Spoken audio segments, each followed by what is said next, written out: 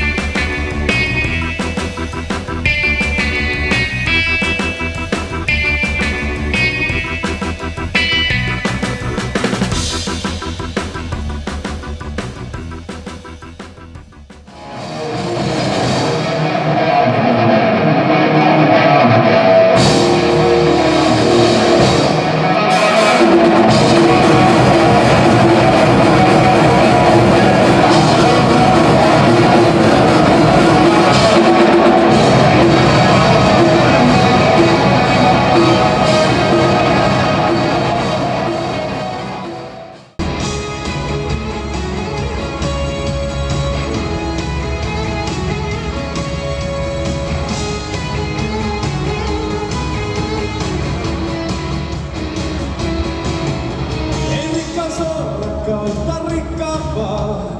Rakkaus on rakkautta rakkaampaa. Jos rakkaus on suoraa ja rikkaus väärää. Suhteella